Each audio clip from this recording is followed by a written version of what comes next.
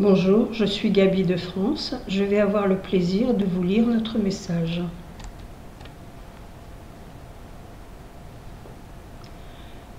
Message commun de soutien et de solidarité avec la rébellion contre la violence raciste. Bonjour, camarades, frères et sœurs du monde entier. Ceci est un message de soutien et de solidarité de plusieurs collectifs unifiés et individus de diversité ethnique, socialistes, internationaux et progressistes, de foi, inspirés par les religions abrahamiques, afin de travailler ensemble pour un monde meilleur. Récemment, la question actuelle de la violence raciste et des lynchages policiers a refait surface dans la conscience publique internationale provoquée par les meurtres de George Floyd à Minneapolis, Ahmaud Arbery en Géorgie, Jason Sindred à Indianapolis et Breonna Taylor de Louisville aux mains de militants blancs et de policiers. Cette forme de violence perdure depuis le début du colonialisme et de l'esclavage privé il y a plus de 500 ans. Malgré les tentatives de la classe dirigeante suprémaciste blanche pour dissimuler ce problème, la sensibilisation du public s'est généralisée grâce à la technologie et aux efforts des activistes noirs et de leurs alliés pour attirer l'attention sur ce problème. En tant que socialistes et progressistes, nous sommes appelés à lutter contre les inégalités de la civilisation.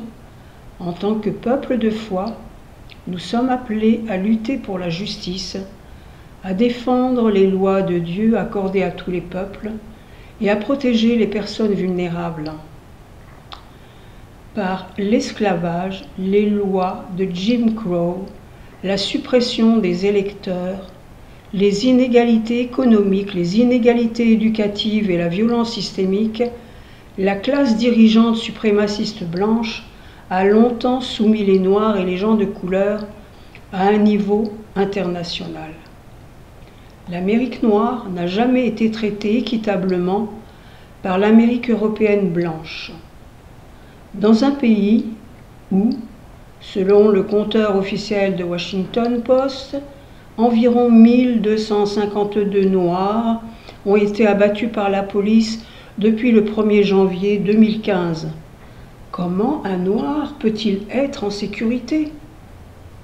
La violence anti-noire qui se produit en Amérique et dans le monde est inexorablement liée à d'autres actes terroristes, racistes, ethnocentriques et intolérants commis par des oppresseurs blancs à travers le monde, tels que les récents massacres antisémites des synagogues en Amérique et en Allemagne, les attaques musulmanes contre une mosquée en Nouvelle-Zélande, les meurtres et l'emprisonnement de réfugiés latino-américains à la frontière américaine, les disparitions en cours, les agressions sexuelles et les meurtres de peuples autochtones des Amériques les meurtres de la police antisémite en Arizona, l'occupation meurtrière en cours de la Palestine aux mains de l'occupation sioniste, les attaques multinationales contre les Kurdes, ainsi que d'innombrables autres atrocités. Les manifestants qui descendent dans la rue pour promouvoir la justice et lutter contre les inégalités sont également la cible de violences racistes. Un certain nombre de manifestants ont été intentionnellement heurtés par des voitures et dans certains cas sont morts. Des policiers et des militants blancs ont également été agressés et tués, un certain nombre de manifestants aux États-Unis. À Seattle, le gouvernement de la ville a ordonné aux policiers d'éteindre leurs caméras corporelles pour dissimuler le recours à la force meurtrière. Alors que la violence s'intensifie envers les Noirs et les Bruns, les politiciens et les médias condamnent largement la lutte pour la justice et tentent de supprimer la connaissance publique de ces attaques. le président Trump a menacé sur Twitter et Facebook de tuer des manifestants.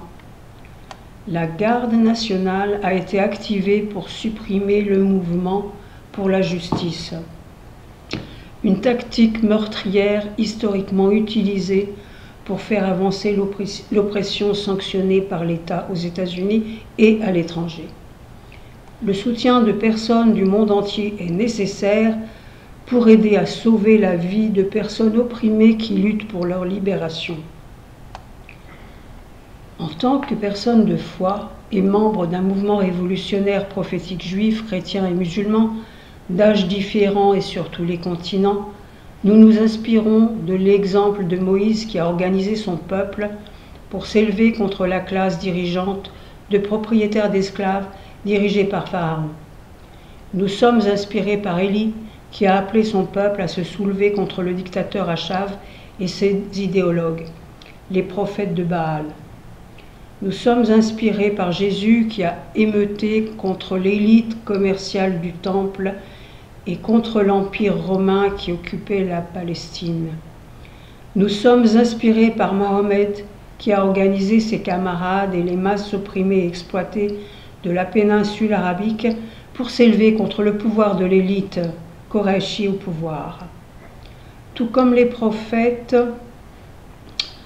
se sont rebellés contre la loi idolâtre de leur époque, l'adoration des dirigeants en tant que Dieu, la doctrine décrivant la hiérarchie de la société comme étant divinement ordonnée, la justification de l'oppression et de l'esclavage en l'appelant la volonté des dieux. Nous devons aussi, nous aussi, dénoncer l'idolâtrie d'aujourd'hui, l'adoration de la richesse et du pouvoir, la vénération des banques et des bourses, le statut apparemment tout-puissant des institutions financières, ce sont les équivalents modernes des rois et des seigneurs esclavagistes contre lesquels les prophètes se sont élevés. Suivant leur exemple, nous devons continuer cette tradition abrahamique et lutter contre l'oppression et l'injustice ici et maintenant. Notre Créateur nous appelle à combattre l'injustice et les inégalités et à protéger la vie humaine.